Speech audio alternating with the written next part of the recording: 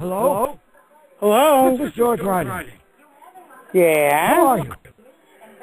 I'm good. How are you? This is the last time I'm calling.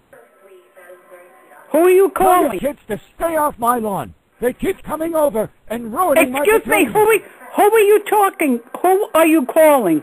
That's What is so doing hard this. to understand? I, I don't live in this house. The number I you called, I don't live. here anymore.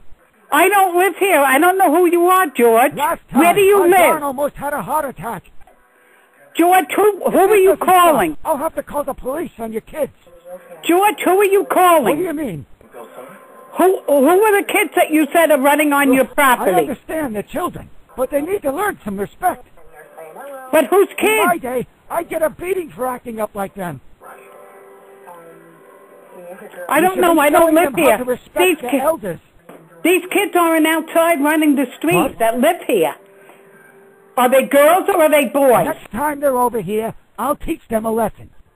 Who are they, boys or girls? You've just been pranked by prankdial.com. Oh.